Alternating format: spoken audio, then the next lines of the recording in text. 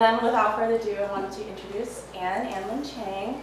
She is um, a professor of English at Princeton as well as the director of American Studies. And recently I found out she's a Libra. and I am an Aquarius, just so you know, so a lot of air going on right now today. Um, so I guess we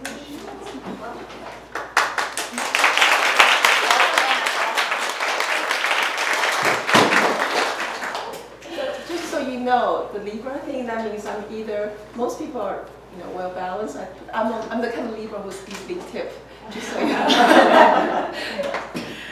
um, okay, so I'm going to try and make this talk happen to, as if um, it's targeted to the person who is not necessarily actually inbred Orientalism or ornamentalism. Um, so I guess we can start off with maybe a brief summary of how you arrived at the theory and um, let's just pretend that we did not read your bed, you read your book every night in bed, like with a flashlight. so, um, yeah. Well, thank you. I would just first want to thank everyone for being here. I know it's probably going to get really hot here really soon, so I really appreciate your support. Um, and um, thanks, Danielle, of course, for this great opportunity to not only think through some issues with the amazing artists who are on the exhibit at this gallery. Thank Alex for making it possible. Um, I have to say I have been incredibly inspired. I, I came in um, a few months earlier to meet with some of the artists who were um, in, you know, in Brooklyn, more local, and um, it was just really, I was just really inspired. It was just really inspiring, you know, because I don't think I would have had the kind of courage that they have when I was at, at their age, and um, the, the, the sort of sacrifices that they make in order to be a working artist today. I'm just, it was just really inspiring. So I just want to first begin with a shout out to the artists who are in this exhibit, and if we could just all give them a hand, that would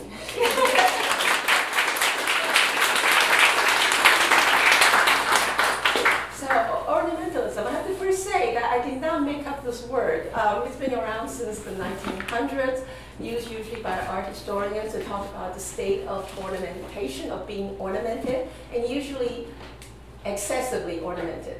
Um, it's, a, it's a negative thing. Um, but I have always thought it's so weird that nobody, I mean, people of course have written about ornamentalism, but no one has ever written about what I seem to me so glaring or so loud in the word, which is this almost homonymic echo of Orientalism.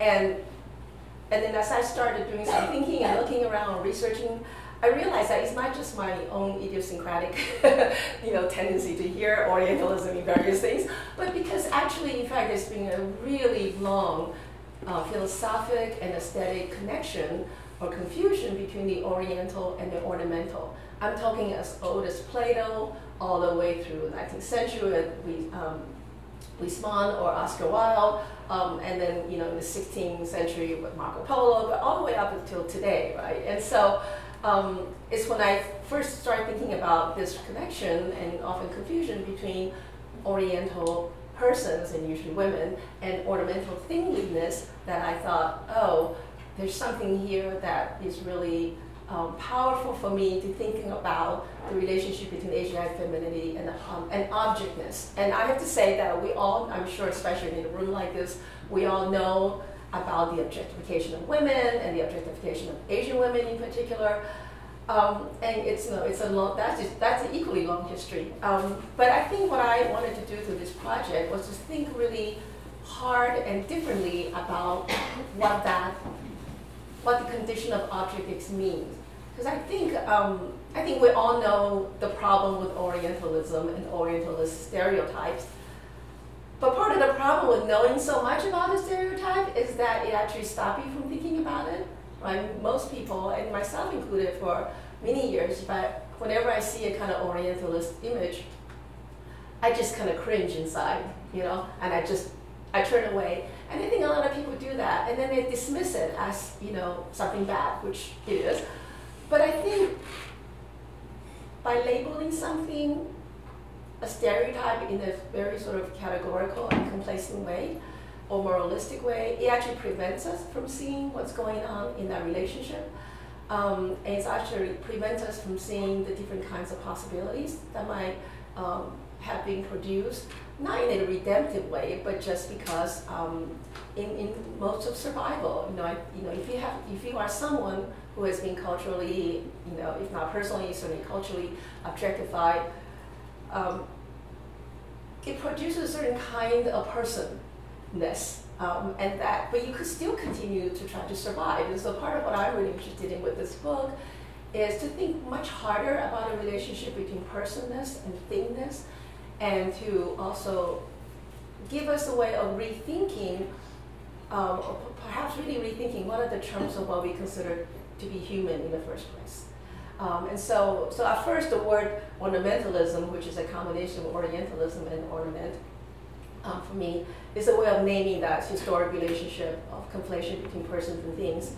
But I'm hoping that the, the word or the term do the work of so much more than just naming something we probably already all know, but rather to use it as a critical lens to think about the really difficult processes through which things are made into persons and persons into things especially around through the, uh, the, um, the medium of Asiatic femininity. So that's sort of like the background of the book, um, and that's how I came to this book. I mean, so I have to tell you, I think it is the most inelegant word in the world, ornamentalism. It's so awkward. Um, and it's particularly weird because he actually names what seemed to me a very elegant uh, and complicated and, and, smooth alchemy of this transition between persons and things. Um, the process is actually almost always um, naturalized so that you don't even think anything about it. Um, so it's actually a very elegant and uncanny and spooky um, process and dynamic uh, that is uh, that I think the word ornamentalism names, but it actually doesn't actually do justice to it because the word itself is so is so awkward a word. And I wanted to talk about how you arrived at this theory by centering the yellow woman, which, if I were to be honest, brought me immense relief um, at having been finally addressed, but also a lot of anxiety because, as we know with Asian American studies, I mean, it often excludes black studies, and the word woman is also being um, disputed right now, you know, what it, it's cisgender and all these things, and you have this um, demand in pop culture for like more accurate or authentic representations as like an anecdote to our frustration at erasure. So, I mean, did you cross those kinds of like critiques and how did you manage that? Well, I have to say, even saying the phrase yellow woman took a lot of therapy on my part, um, both with my therapist, but also intellectually, like a lot of sort of self um, confrontation around issues that I have found either troubling or problematic that I have not really wanted to take on or being afraid to take on in certain ways. Um, and so I use the word yellow woman almost as a kind of a fight song for, for myself. Um, I don't use it to um, authenticate a notion of an Asian woman. I don't. I do not use it to redeem it as a kind of you know, the way people have redeemed queerness, for example. Um, but I use it in particular with its with the pain of the phrase, with all intention, because what I want to do is name that racialization, which I think is often unnoted and is links to another sort of, there's a lot of strands behind this project, but the other strand is sort of my own relationship to um, feminist theory. As, as a comparative race scholars working in Asian American literature and African American literature, I am very familiar with the incredibly like productive, um, copious, and profound theory around black, black femininity, black feminist theorists. Um, and but I have always felt that as generative and as powerful as that body of work has been, they never seem to quite get at some of the issues that I worry about, think about around Asiatic femininity. And, and I couldn't quite put my finger on why, because um, it's not satisfying to me just to say, well, they're two different races or something like that, just kind of silly. But on the other hand, what I realize is that it's not that they're different races, is that there are different processes of racialization behind black femininity and Asiatic femininity, and the differences of those racialization is actually what's not accounted for right, in these kind of in the in the theoretical gap that I'm perceiving. And so to put it in a very sort of reductive way, um, and I can say more about this um, for those of you who do not want to fall asleep right now, later. I can talk more about this. But um, I think that black feminist theory has been incredibly, particularly productive in thinking about black female flesh and fleshliness. Um, and um, we can understand why that's the case, right? And so someone like Hortense Spillers, who is a very significant figure in the field, you know, for there's there's for, I think in all of her work there's a kind of um, profound longing and nostalgia around the injured black female flesh.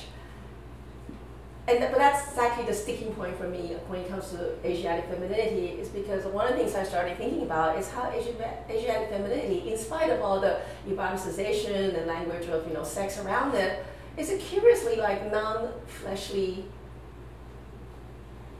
It's built around the, the racialization of Asiatic femininity is curiously synthetic.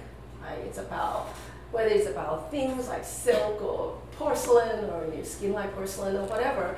Um, ornaments. Um, there's actually, um, you know, so you start, I started thinking about, well, what does it mean to think about feminist theory that's not based on the flesh?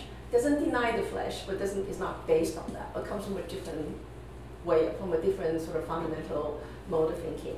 Um, and so this is, again, it takes us back to ornamentalism. This is why I started thinking about ornamentalism as particularly a feminist theory for, the, for and of the yellow woman, even though, as I try to do at the end of the book, um, particularly, um, I have a chapter on um, Toni Morrison that I try to sort of say, um, try, I actually say that in fact, um, ornamentalism is a very powerful way for thinking about the specificity of Asiatic femininity, but it is not only, it does not only apply to Asiatic femininity, right? Because these processes of racialization are, um, are, are always a kind of stylization and aesthetic practice. And as such they can be incorporated and appropriated and you know um, so i actually think ornamentalism as a way of thinking about racialization and gen- racialized gender as not being based on flesh might be as it could also be a powerful way to think about black femininity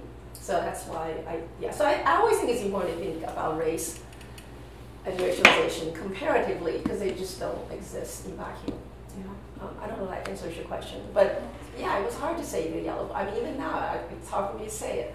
It was hard to write about it. Um, but I wanted to name it for what it is. The other thing is, the other truth, I wanted the ugliness of the phrase to really still ring because so much of the discourse around the Asiatic femininity is that it denies ugliness, right? It's all about supposedly about beauty, um, exoticization, um, and no one wants to talk about really the ugliness of that exoticization or the ugliness of, um, of beauty.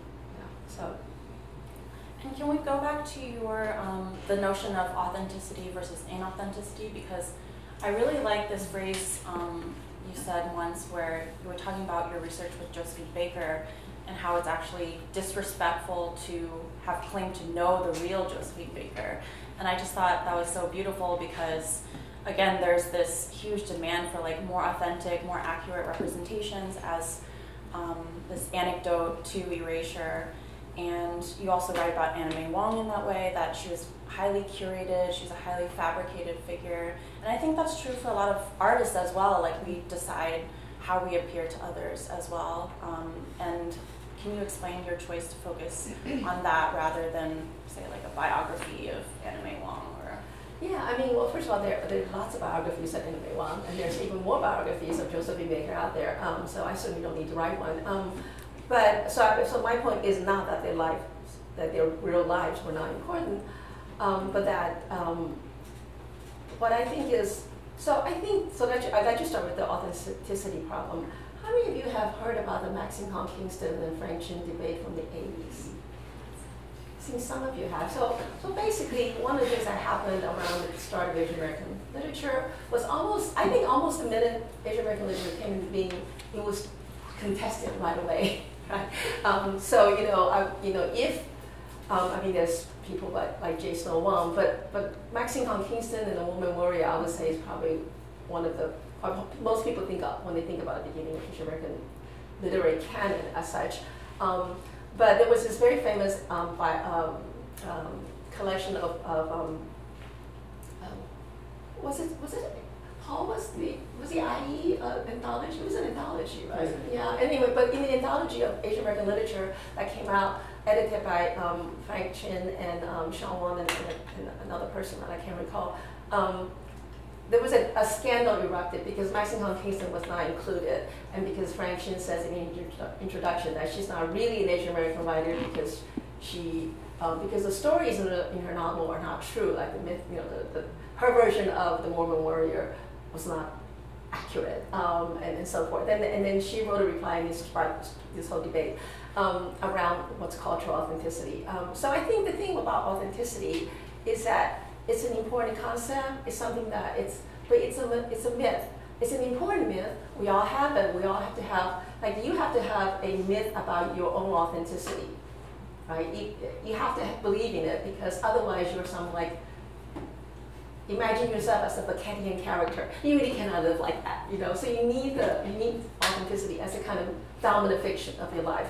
But authenticity is itself, in fact, a, a very like non-existent in term, especially for you know Asian American subject who are in the diaspora. Um, we all have very different relationship. Our our own authentic relationship to Asian Americanness, I bet, for every single person in this room are different, right?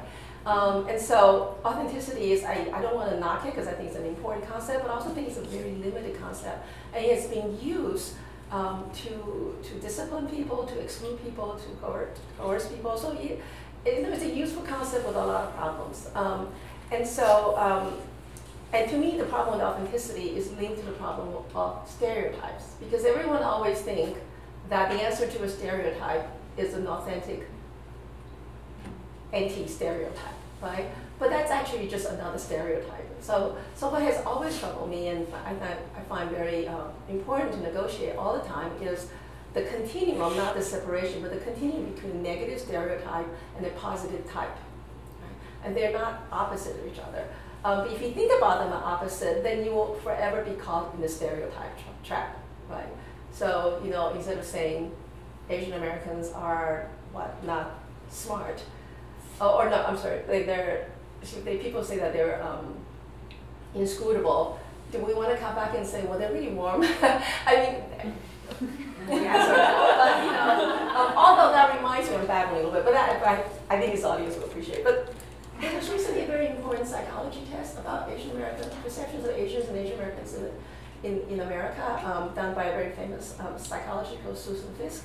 And she asked, so there's two vectors. They asked people um, whether or not they thought Asian people were um, um, smart or, or, high achieving, and whether or not they thought they were warm or cool, that is likable or not. And the answer is exactly what you would expect. A lot of people say they go high on the smart question and low on the likability, right? And in a way, that the, the and, and there was a big uproar about this. Um, and part of me just thought, well, I, I, I actually didn't need this elaborate research project to tell me that. but also number two, no one's asked, well, why are those the two vectors? Why are those questions being asked in the first place? Um, and so I think that there's, um, so my point about this little excursion is that even questions in, invented to investigate stereotype reiterate those stereotypes. And so the trap um, of the stereotype is ongoing, and it will continue to go if we keep thinking our answer to a stereotype just by denying its authenticity.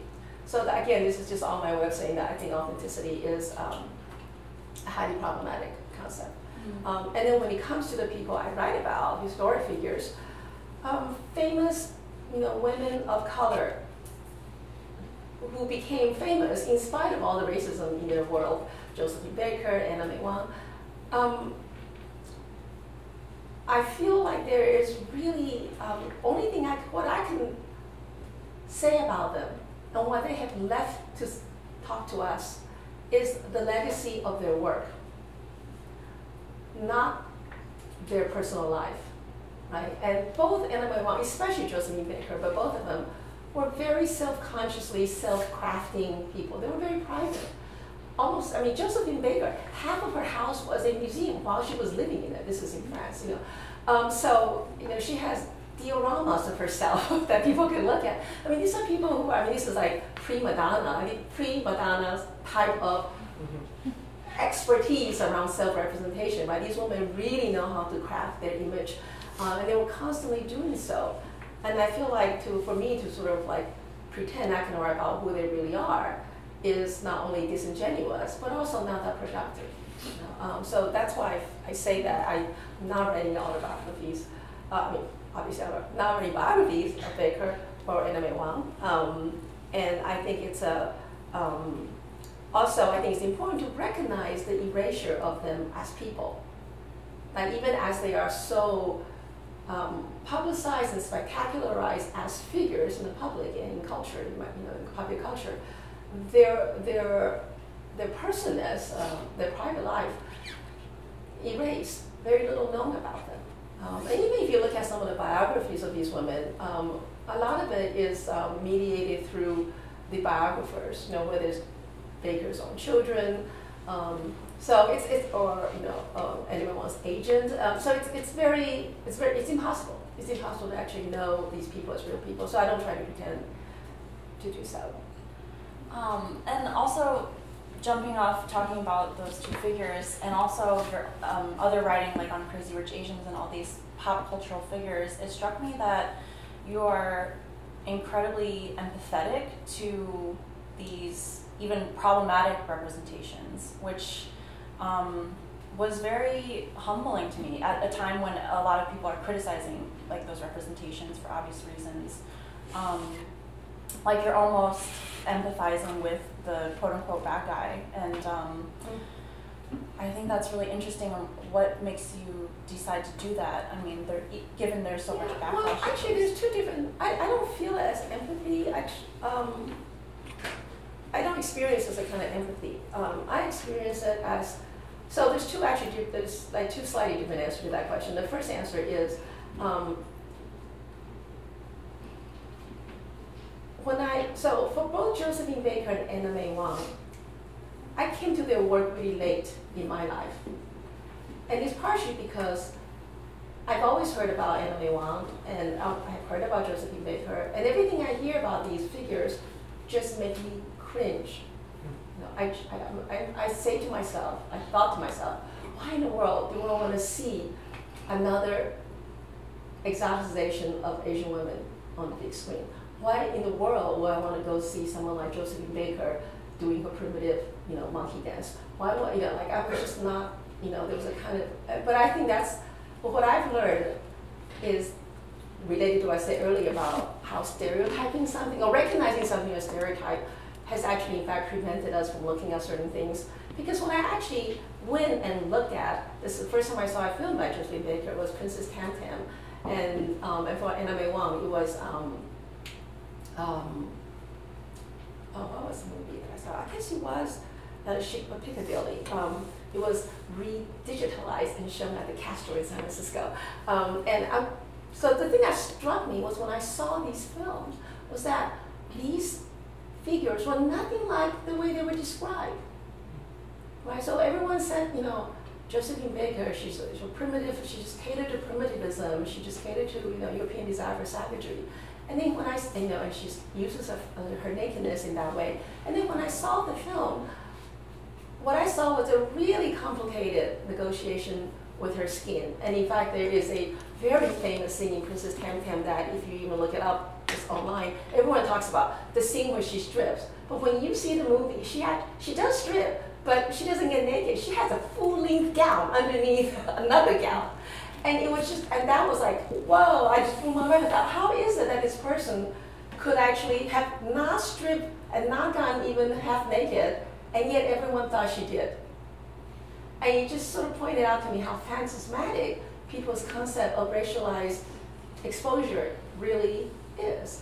Um, and the same thing with Anna Wong. I thought, oh, it's going to be some horrible, like, you know, exoticization of the Chinese woman in American cinema, blah, blah. But you know, when I saw um, Piccadilly, I thought, wow, she was extremely withholding. Like everyone talked about what a, what a um, what a, like a sex kitten she was but she was actually really cool, right? Um, and, uh, and again, in another scene where she was supposed to be dancing in a kind of, you know, um, um, semi um, burlesque way, she was wearing a costume that had giant spikes, like really harsh, right? Um, and so again, you know, all these pieces make me think. Um, so it's not like I'm empathetic to this. this it's I actually don't think they were doing what people thought they were doing. I mean, clearly, like as in all popular culture, it's partially this and partially that. And of course, there are stereotypes, you know, and certainly people who made these films wanted to stereotype and exploit these women. But their actual performance as work, as labor, um, as artistic engagement says so much more than the boundary that's being placed on them. So it's not like I'm empathetic to the bad stuff, it's like I think there's so much more than the bad stuff going on. And if we, all we do is look at the bad stuff, we're actually being really reductive ourselves. Mm-hmm. So that's, that's one answer. Um, the Crazy Rich Asian is a slightly different um, kind of question um, because, so, you know, by the time I was asked to write a review for the Los Angeles Review of Books, and by the time I was writing it, there were already other reviews out, and they were all basically two kinds. Those who loved it because it represented Asianness, no matter what cost, and those, who, and, those who, and those who hated it because they just could not, they just thought it was just a horrible um. Um, and so my first job is always, I, might, I just thought it's not my job to repeat that binary, you know. Um, and I wanted to write something that can accommodate the complication of my own feelings about the film, which is on the one hand, it is all those horrible stuff that people thought. Um, that, you know, it is basically, you know, the, the neoliberalism of the model minority discourse, right? Um, and it's all those things that you think that people have pointed out. But also thought there was something about, for me, in New Jersey, going to a movie theater to see this movie, it was, I went into a particularly large theater in, in Hamilton, New Jersey. It seats about like 150 people, 200, it's one of those big theaters. It was packed. Every single seat. We had to sit at the second row and, because it was so packed. And it was all Asian faces. And I just thought, wow. I mean, there, there was something so wonderful for me to be in that audience um, with all these Asian looking faces, whether or not they're real Asians or I have no idea, right? But to, to sort of see this imagined community for two hours in the theater, it, it was not something I was willing to dismiss and say, you know, I was not willing to just to say, oh, these people are blindly looking for images of themselves on the screen. I think there was something real about what it means to be a community that is not often doesn't experience itself like a community. The importance of the ability to come together as a community on whatever tenuous ground for however brief a time. So I wanted to honor that. Um, so for the Crazy Rich Asian, it was a slightly different. Um, but I'm always uncomfortable with binary positions because I think that, that leaves out something much more complicated and interesting in between. Well, that leads me to my next question because I think in curating this show, actually, what sparked my interest in this topic about Asiatic femininity and artificiality was techno Orientalism, which um, that was the primary lens in which people who were making work about that took. Is like, and then all these questions emerged because people were like, am I embodying a stereotype? Am I being a techno-orientalist even though I'm Asian? You know, so that's the trouble with binaries. And I remember talking with you once and you said like, oh, techno-orientalism is nothing new. Like, I was so struck because that was the foundation of what I was interested in.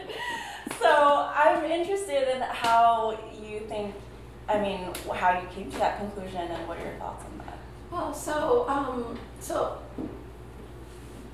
so I, I think techno. So I, when I first heard the term techno Orientalism, I was very excited because I thought, oh, we're actually thinking about Orientalism in a different way, which was really exciting for me. And then I started reading about it, and it seems like a lot of people who write about techno Orientalism basically um, is rehearsing an Orientalist critique except in the realm of technology. Right? Um, and so that was a bit disappointing to me. And that's why I'm about like not being new, uh, because it's actually um, just rehearsing Orientalism, but in the realm of technology. And so, what I, so I think there are two problems with that, or there are two, um, two limitations to that that I think one could think more about. Um, so the first thing is, I am really interested in the relationship between Asiaticness and technology, not simply as a kind of trope or alibi, right? So a lot of people who write about techno-Orientalism, for example, a typical oriental, techno-Orientalist argument would be something like, in the Blade Runner, Asia is used as a trope to represent futurity.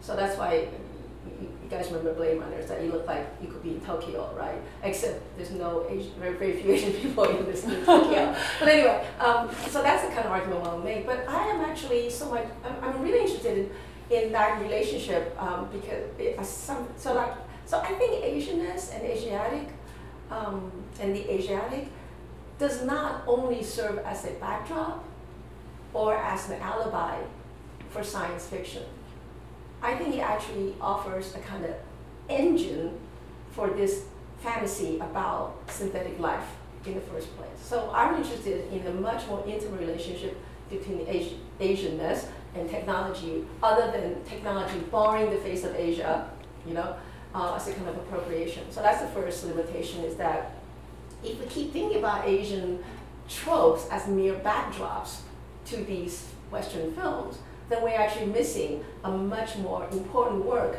that the Asiatic presence is doing in these films. So that's the first thing. Then the second thing is I think a lot of the conversations around techno-Orientalism tend to be really presentist, right? So it attributes this whole fantasy about Asian futurity to Asia, to the Asian, the modernization of Asia, in particular Japan, right, and its technological advance. So, you know, 20th century basically.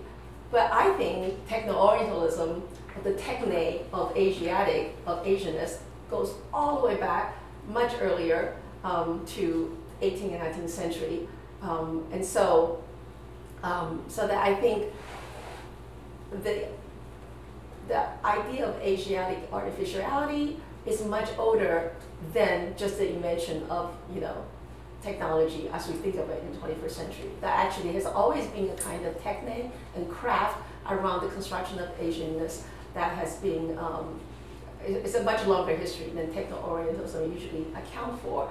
Um, and similarly, I, um, I mean, another way to think about this is that in techno-orientalism, it sounds like, well, there's this old Orientalism where the Orient is made regressive and so forth, and then suddenly we get the new techno-orientalism where everything is technological. I actually think these two things are not separate. I think that the image of the geisha and the image of the cyborg are actually not opposite but the same, that they came out of the same kind of um, making thingliness of Asiatic femininity. Um, so, so yeah, so that's my, I, I like the term. I wish people use it to do more than what they have. Um, oh, techno-orientalism? Yeah. Ornamentalism. techno-orientalism, yeah. Um, yeah, I liked your description of Asiatic presence in Ex Machina because there's a crucial scene um, where the white Caucasian cyborg is peeling off the skin of the Asian cyborg and placing on her body in order to be actually a pretty contemporary woman despite being futuristic cyborg. So, um, but then you talked about how there is Asian cyborgs in this movie, but also the black cyborg and it happens so quickly. And but there, you talk about how their skin actually looks comparatively more real, or mm-hmm. has that more fleshiness, and that goes back to the Venus Hottentot mm-hmm. that you. Yeah, the, the, I mean, how many of you have seen Ex Machina? It, it's kind of a hard movie to watch, right? Because it's so incredibly sexist and racist.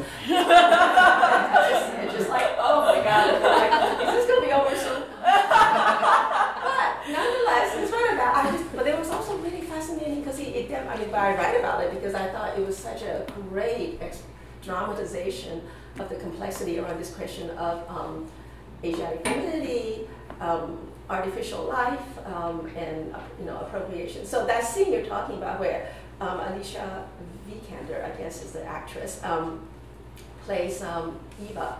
Um, the a, a, cyborg. And so at the end of the movie, she she basically kills her creator slash master, um, and she's escaping, and she takes a she takes the skin from a previous. And so apparently, the guy has been the, the this genius, who's um, the the mastermind behind all this, um, is interested in developing the next stage of human evolution, like the greatest AI in the world.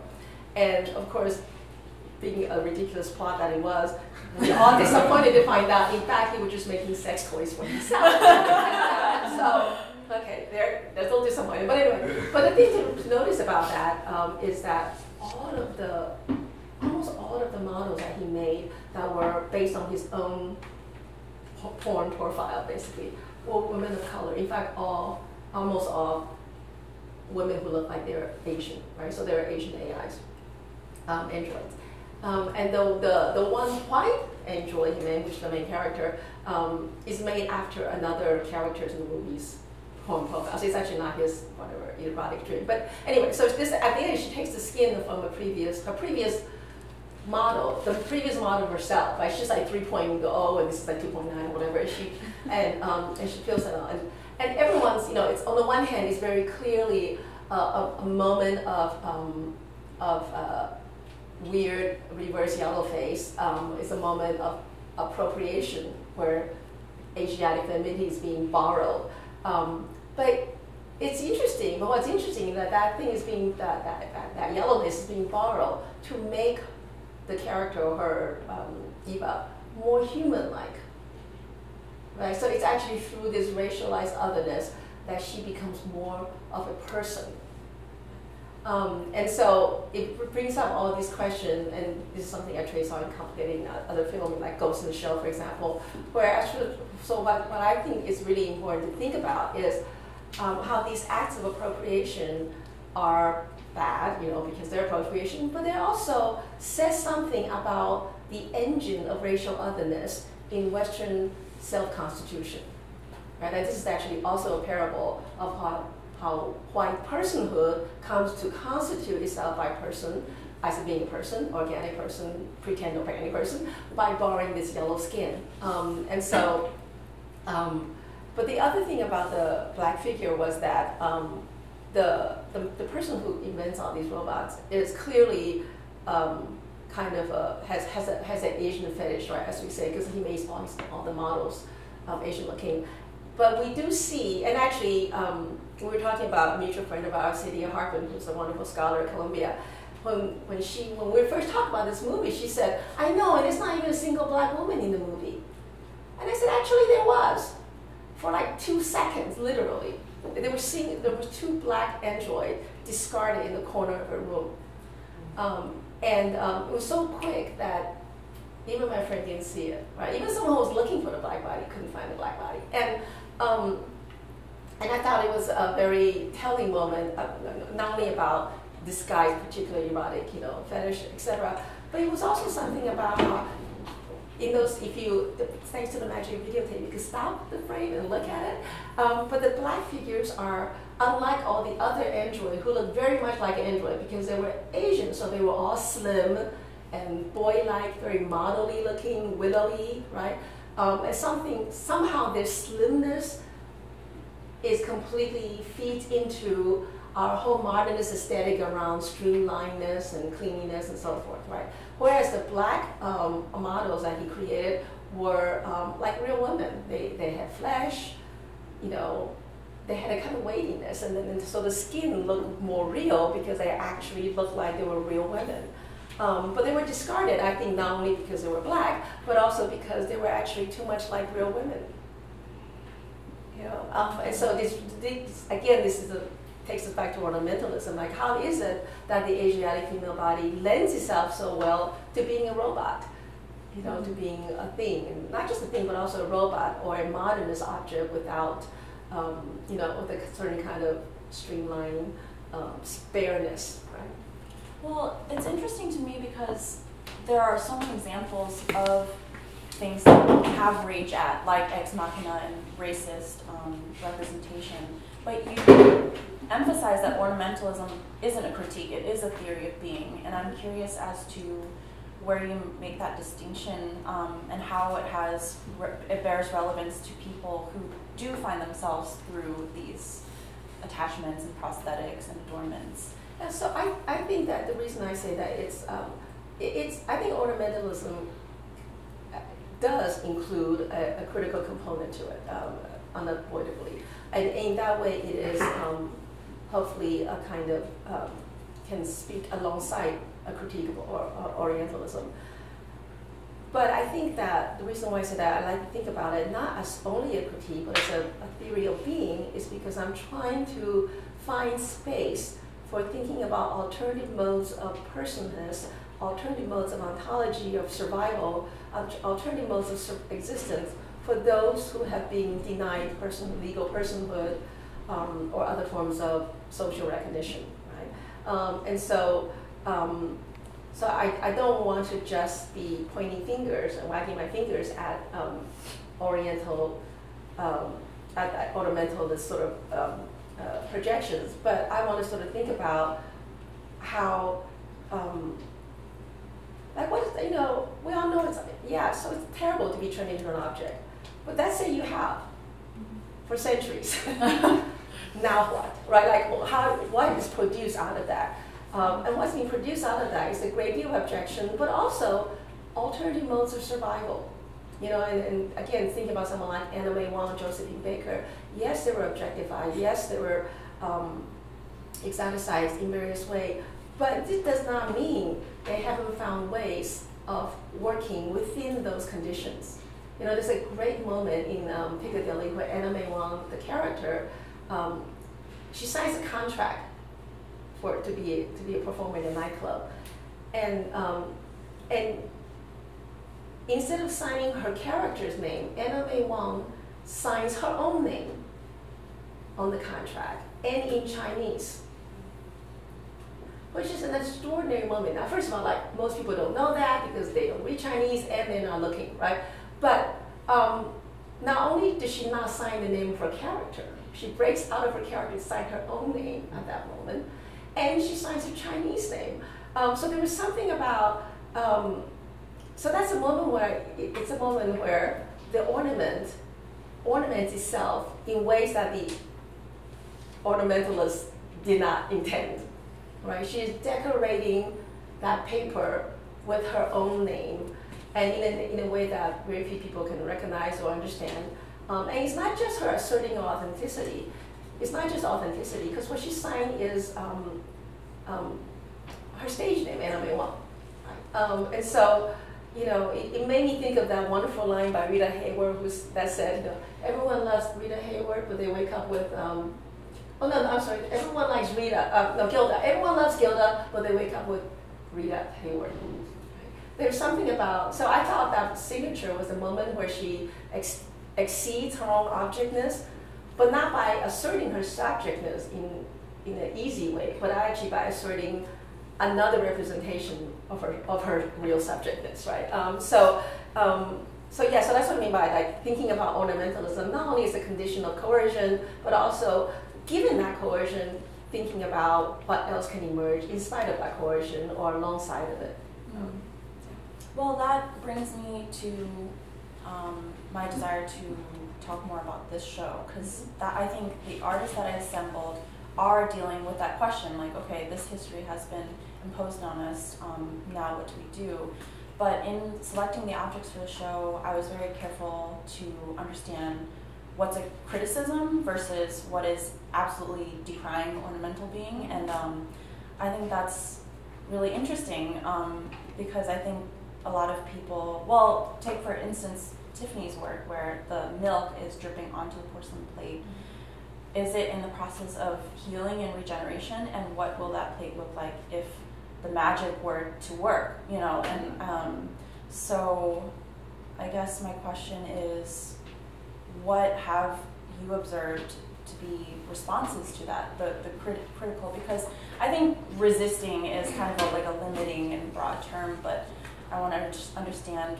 what is going on now that we realize that this is happening. Yeah. Well, I mean, I don't think there's anything wrong with decrying a, a, a, a problematic representation. I just don't want to stop there. Right? I don't want the decline to be an ex, um, to prevent us from thinking more about what's actually happening. Um, so I am really grateful to um, several, I mean, uh, in fact, all the artists in the show in trying to help, you know, in, in helping me think through and about this question of ornamentalism in different directions. And I think that, you know, all the works in here are incredibly different, but they all share one thing, which is I think they're all trying to think through this question of the conjunction, the meeting place of um, Asiatic personhood, race, gender, and thingliness. Um, and so um, Tiffany's piece is really, so that's the piece on the, on the left there, um, is super interesting. Um, uh, well, in, in this, so to sort of answer your question about that, I think that that piece, in thinking about, um, so the porcelain invokes a whole history of um, not just porcelain as object, but also its intimate relationship to um, to Asiatic femininity, um, the the ways in which Asian skin have been confused with porcelain, for example. How many of you have ever seen Nancy Kwan hawking pearl cream in the middle of the night? How many of you seen Insomniac? what? In, in, the, in, the, in the 1980s, and, um, and it was probably not me, but anyway. You know Nancy Kwan, right, who's from Flower Drum Song, and um, oh, the biracial. Yeah, and also from um, the World of Suzie Wong. Mm-hmm. So she, she's, you know, between see, I would say Anna May Wong and Nancy Kwan are the two Asian American actresses uh, uh, out of old Hollywood that we all know about, right? Um, but anyway, but in her later life, she um, in her later life incarnation, she was selling this thing called Pearl Cream on TV, and you know, she basically say things like, I don't remember the exact tag phrase of the of the pitch, but something like, you know, if you want pearl skin, porcelain skin like mine, use pearl cream. You know, oh, I know. There was something about the beginning, something like, you know, for thousands of years, Asian women had known this pearl cream. Um, and um, so this is long. So I, I think the plate underneath the uh, in Tiffany's piece refers to not only history of um, commodity and its value to the U.S. I would say porcelain is the first object of um, one of the first objects of international trade and um, the object of most value. they call it white gold, right? This is before Europe could reproduce porcelain the way China could, uh, could produce. They couldn't produce it at first for, me, for, for many years, and so porcelain was very much valued. Um, so it refers to that history, but it also refers to the skin, you know, um, Asian women. And, and Tiffany and I have been talking about how lactic acid, which is produced out of fermentation, um, has been used in cosmetics today. Like if you go to the makeup counter today, a lot of stuff had lactic acid in them. Um, and that's supposed to like be good for your skin. And so if you think about like the milk dripping as both, um, um, it, it, to me it's very evocative, right? It, it, evokes this question of could it, could it heal the porcelain or skin or the history of racial objection? Or is it actually a perpetual erosion, right? Um, the, the dripping reminds me of water torture, um, for example. So it's very evocative on all these different levels. And um, so, so I think what is interesting to me about that piece in particular is the way it's able to sustain this simultaneous possibility of something being promising, cure and also doing damaging at this, doing damage at the same time. And if that balance rather than choosing like one or the other. That's I think is the power of that piece. And it's the same thing here with Tenaya's um, crochet.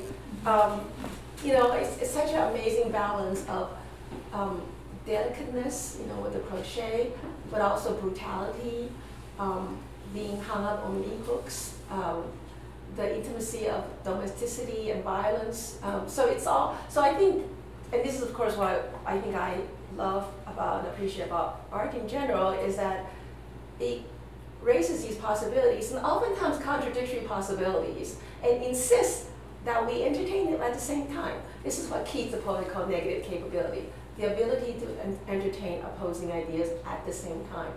Um, so I think that, yeah, I mean, and, and of course Can Candice's piece, which I feel incredibly terrible sitting in front of, blocking the view off. it's our altar. um, so, so yeah, I mean, and, and this, you know, is a, a wonderful piece evoking um, the relationship between porcelain, unfinished porcelain, and it's it's um, the, sort of it's aging over time. And she, you know, it's I, I don't want to go on and on about it, but it, but it brings in these issues of colonial history. Um, it's just really fascinating. I actually thought I knew everything about porcelain until I read Can- Candice's work. Yeah. There's more to learn. It's Well, talking about how like a- Asian flesh as techne, extending all the way back to 18th centuries, she found um, scholarship that European merchants described it as a hard white body, Mm. and so already you have the racialization of inanimate or supposedly neutral objects and trying to bring it to life. Well, it's weird because um, the whiteness of porcelain is so deeply polluted in so many ways, right? Um, polluted in the first one by being the fact that it is actually, for a long time, it was definitely a Chinese object. You know, um, it's, you know, Europeans imported it because it was Chinese. Um, nobody wanted porcelain from Europe because they were not making the same quality. And the way they talked about porcelain um, in the beginning was incredibly, um, there's a lot of personification behind it. You know, it's known as this thing that is very fragile and delicate, but it can withstand tremendous amount of heat. So it's hard and soft, it's warm and cool, it's, you know, it's fragile and durable. So, and all these terms start to sort of like start to sound like, and the word, in fact, gets so displaced onto Asian bodies, right? Um, and so the, the phrase, the hard white body, there's a ghost within that ghost, and that's yellowness, you know, because, um, I mean, Ken, Ken, Candice talks about this in her work, that um, Pasteur, Louis Pasteur used, because it's so fine, um, the, por- the pores are so fine, used it to make the first Pasteur uh, funnel, and they use it to um, um, uh, purify water, because you will trap all the bacteria in, in it, because the, the pores of the pores is so fine. But when things start going, when bacteria start going through that are so small, that's the beginning. That's when they discover all these things around, you know, um, like vi- viruses. Um, and so, even within that scientific history, there's just the porcelain of that funnel says so much about how yellowness is used to, um, uh, as a kind of sieve to weed out yieldness, but it's itself producing at the sign of yieldness, right? Um, and so, um, yeah, there's just a lot of amazing, complicated history on porcelain. We never thought it's such a, you know, um, and it's also worth thinking about why is um, porcelain today degraded so much, right? I mean, why is the trope of the Ming vase, which is this incredibly valuable thing, a, a hackney thing now. It's, it's such a, you know, it's a tchotchke, right? So there's something about the, the devaluation of porcelain from white gold to tchotchke that I think says something actually about, um, one, the economic, the economic relation between America and Europe and China, and two, says something about, so it's partially economic, but it's also partially about a kind of, the same, it's the same process that turned celestial beings into the yellow peril, right? And um, so, yeah, I'm gonna stop there. Oh. My history lesson starts there, sorry. Thank you so much. Um, Anne did not believe that we could fill two hours, but um, I have to stop so we have um, time for questions. Um, so think about what you want to ask. I just wanted to raise the community guidelines, which I hope that everyone will be respectful since we're talking about sensitive subjects to center um, of color and don't be afraid to be wrong. This is a safe space. Be open to the possibility. Um, if you have a question that's more like a comment, um, you don't have to say that. Just, just bring it on. so, um, who has a who wants to break the ice? Who has first question? Or yes. Um, hi, my name is Janice. I saw you speak at Yale three years ago when this book was in its really early stages. Um, I'm wondering if you can just talk about how it's changed from then to now, maybe, and if the process of writing and publishing it has made you rethink some of the early formations you put out, or if that's mostly been consistent over time. Well, um, well, I think that um, actually, by the time I gave that Yale talk, I was slowly clo- closing out of it. Um, you know, these books, I, there are many of you who write books in here, you know this, but it takes like a year for a book to come out. So for me, even though this book came out this January, it feels like it's older than that. Um, but um, but I think what I've been thinking, I I think that I um, I've been writing about this topic for a really long time. It took me like 10 years to write this book. But it wasn't until the last, I would say, three or four years that I really figured out what I was trying to do. Um, and so, I mean, most of those of you who, write will know this is not something unusual, but I feel like I'm like walking in a circle, slowly, slowly, circling in on the thing, and near the end, I get there. And then it's like a big rush. So the last couple of years of me finishing the book, it was like kind of like me just, you know, um, it was like I finally, oh, I finally, I saw the house, you know, I knew all the different parts, but I couldn't see the whole house. So, um, so I think what, I, I don't think I changed my mind about stuff um, at all, but I have, I had been thinking about my next project. And so I'm also really interested in food studies and in um, animal studies. And so in, um, in the book, there's a chapter about sushi, so you can sort of see the beginning of me moving towards food. But actually, I'm writing a piece now on the idea of swarming um, as a kind of transition from this project, because I think swarming is a kind of ornamentalism. It's excessive profusion of details but around insects and around people and around food. Um, and so um, that's sort of direction I'm moving in. I don't know if that answers your question. But. Yeah, Tiffany. Um, I wanted to ask a lot of the way you write about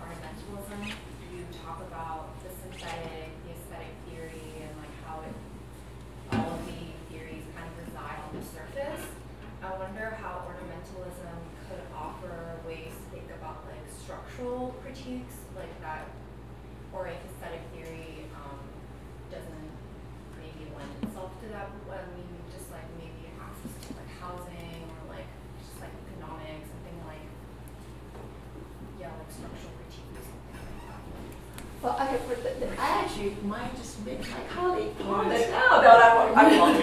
Who is it? Who's brilliant about economics? So, um, so, so yeah, I think it does. It could. Um, and it's because I think my use of the surface is not about um, my idea of surface is not that it is an opposition to depth. Right? Um, I think one of in the recent years, one of my frustration is that um, people keep lumping me into surface reading, which is a reading sort of critical trend in, in academics recently. Um, and it's true, I'm really interested in surfaces, but I'm actually interested in, in precisely the surface not as something separate from interiority, not as something that hides interiority, but something that is actually in profound engagement with interiority, right? So that it's actually both surface and structure at the same time. Um, so, um, so I just want to first by saying that surface for me is not in opposition to interiority. Surface for me is a complicated implication with interiority. Um, um, and so I'm always trying to tease out those connections. Uh, but um, I'm trying to think about a good example of sort of a structural.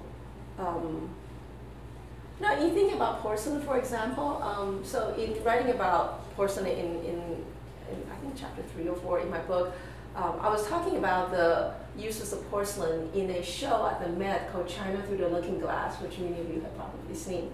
Um, and there's actually a whole area that's devoted to kind of the, the blue willow theme, the, the, blue and white porcelain. Um, and in thinking about those um, pieces, and in talk about porcelain, I think it was very important to think about porcelain as an economic, um, as an economic enterprise, but also as a weirdly epider- racial epidermal enterprise at the same time, um, and also as a kind of material engagement. And so I don't know if I'm answering the question very well, but um, I'm trying to think in the book, what would be an example of a structure? Um, well, you talk about um, how it has legal implications as oh, well. yeah, that's true. Yeah. Um, because we're talking about um, the imaginary woman, we're talking about inauthentic representation, but ultimately, what you are saying is this has does have implications for the real woman and um, who gets excluded. You know, I read all these interviews of Angel Island, which um, is infamously. Oh, yeah, little quote. They, yeah, they would question you, like, you know, how many steps lead to your neighbor's door, and if you don't um, answer at, at the same as your father, then you get sent back. I mean, it has real world implications, and some of the questions that they ask are like, you know, what kind of ornaments are you wearing? Did your husband give them to you?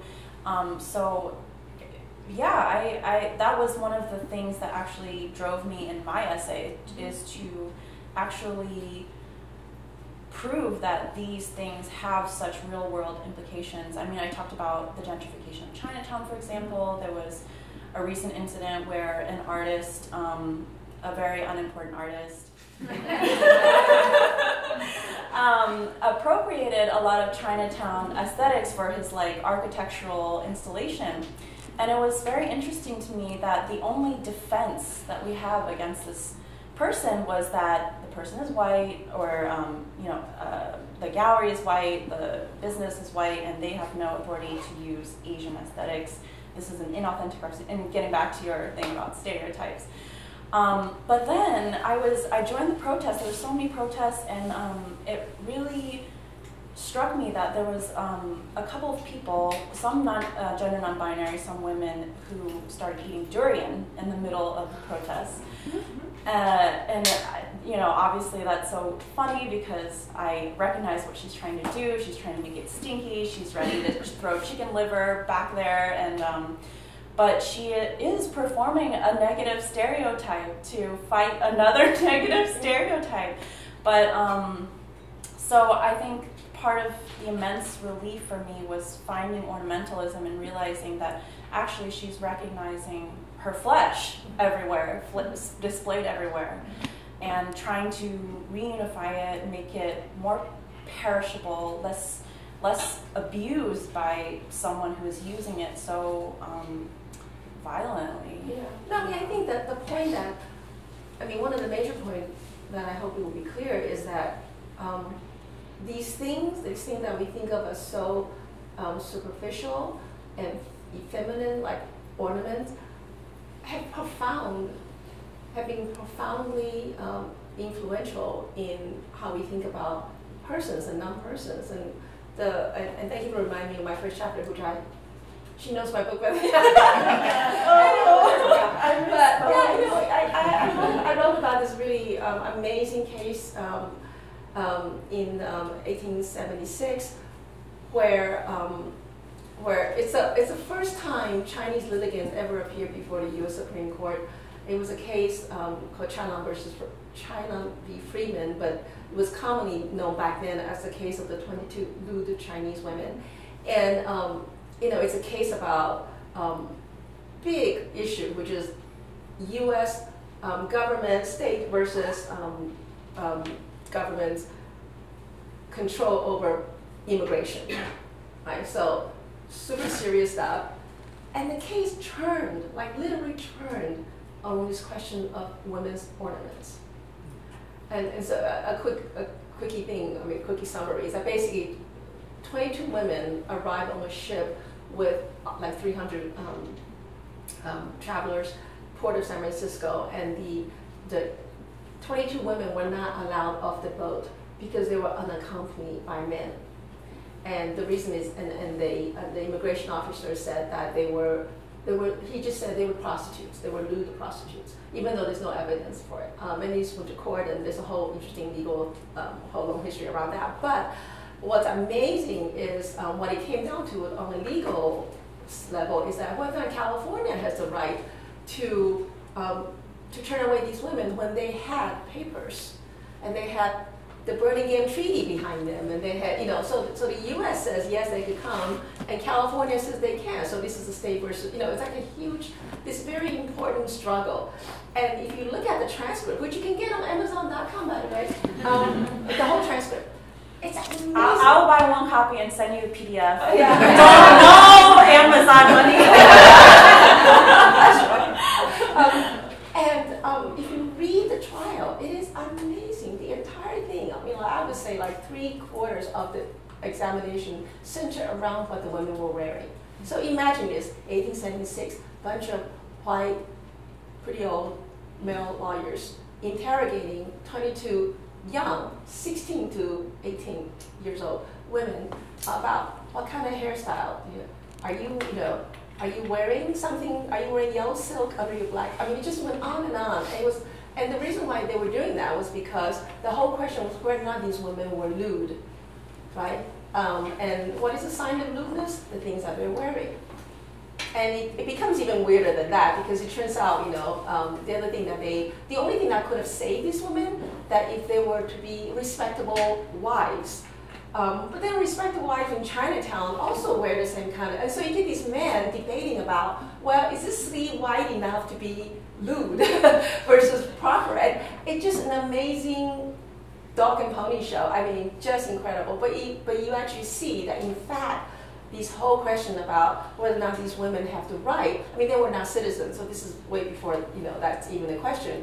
The question about whether or not they were, have the right to a basic trial, to have the right to get off a boat, basic human rights, right? But their humanity and their, therefore their legal personhood was all predicated on the question of ornaments and what kind of ornaments were being used. So, um, you know, if nothing else, I, I want to point out that this very on the one hand, the superficial category, minor category of ornaments, and on the other hand, the superficial category of Asian women are actually far from superficial and in fact being structural to how the U.S. think about persons, both legally but also culturally and imaginatively. Thank you. Um, well, we want to wrap this up um, soon because I want to have people have a chance to see the show, and um, Anne will be for here for a little bit to answer questions and get your celebrity pictures taken.